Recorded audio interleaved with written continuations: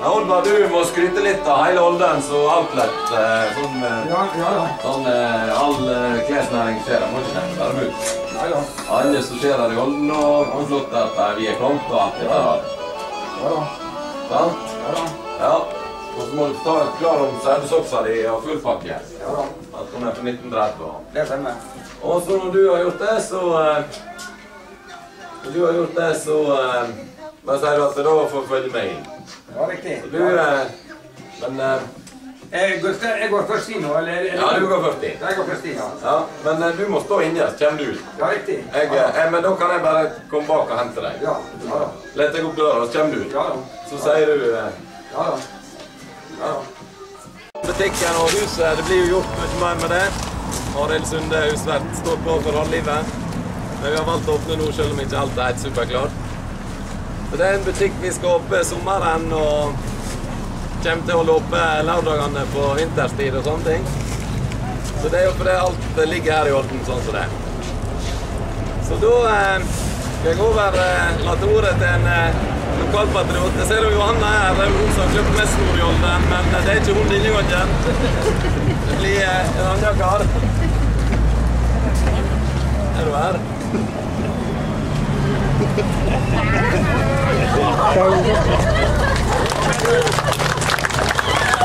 Thank å løfte snoret her i dag. Med en saudesaks fra 1930. Dette er ei som ikke er i bruk nå, men hun var i, mye i bruk da. Det var ei elektrisk gang. Det her er, så, og denne her skal jeg da klippe snoret med.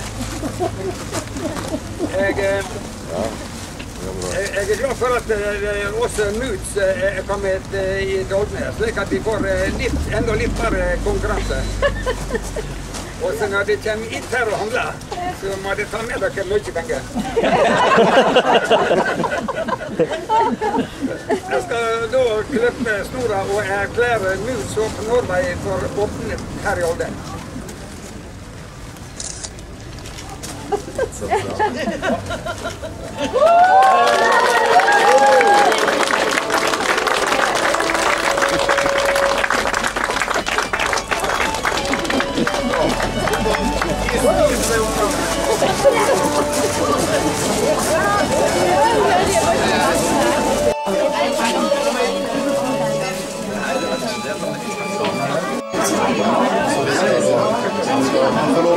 Da er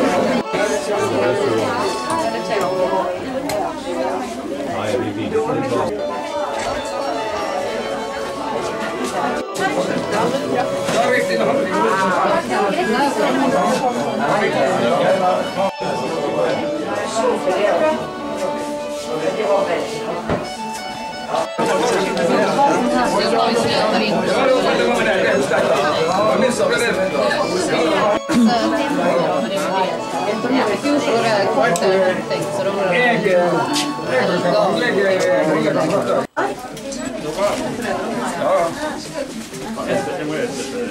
Jeg,